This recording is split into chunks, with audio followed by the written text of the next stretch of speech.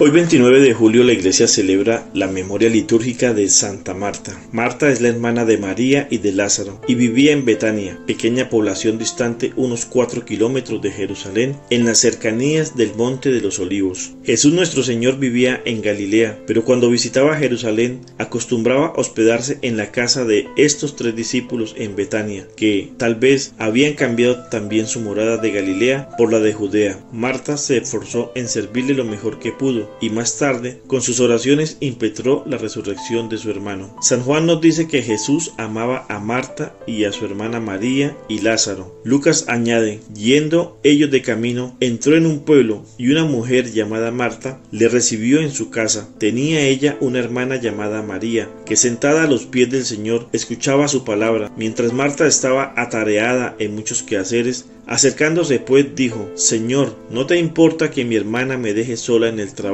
Dile pues que me ayude. El Señor corrige a Marta, penetra en su corazón afanado y dividido y establece prioridades. Esa única cosa de la que hay necesidad es de poner todo el corazón en amar a Dios, atender a Jesús que nos habla, que quiere levantarnos de nuestra miseria. Toda vida activa debe surgir de la contemplación. La vida activa sin contemplación lleva al alma a dispersarse, perder de vista el fin. La vida contemplativa se concentra en Dios y se une a Él por la adoración y el amor. La vida contemplativa es una especie de noviciado del cielo, pues la contemplación es la ocupación de los bienaventurados del paraíso. Por ello, Cristo alabó la elección de María y afirmó, solo una cosa es necesaria. Eso significa que la salvación eterna debe ser nuestra única preocupación. Si contemplamos cómo van las cosas en cualquier iglesia, podemos ver muchas actividades, programas, ideas, es relativamente fácil hacer cosas por Jesús, pero ¿cuánto nos cuesta estar en silencio ante su presencia? Enseguida pensamos en cosas que hacer. No comprendemos que lo primero y más importante es atenderlo a Él directamente por medio de la oración. Entonces surge una pregunta. ¿No es necesario trabajar? Claro que sí lo es, pero para que el trabajo dé fruto debe hacerse después de haber orado.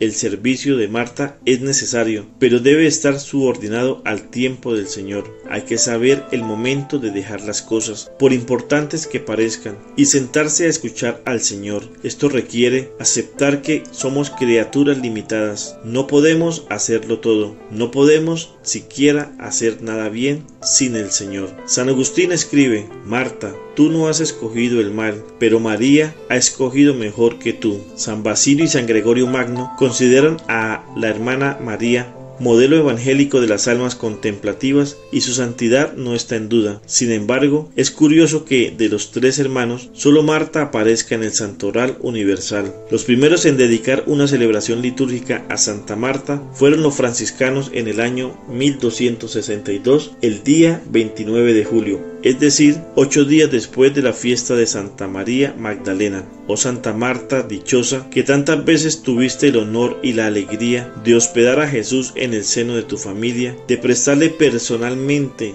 tus servicios domésticos y que juntamente con tus santos hermanos Lázaro y María Magdalena gozaste de su divina conversación y doctrina. Ruega por nosotros y nuestras familias para que en ellas se conserve la paz y el mutuo amor, para que todos sus miembros vivan en la observancia de la ley de Dios y para que solo Dios y no el mundo ni el pecado reine en nuestros corazones, reine en nuestros hogares, libra a nuestra familia de toda desgracia espiritual y temporal, ayúdanos en el cuidado de los hijos y subordinados, y concédenos la dicha de verlos unidos bajo la mirada paternal de Dios en la tierra, para volver a verles reunidos en las moradas del cielo. Amén.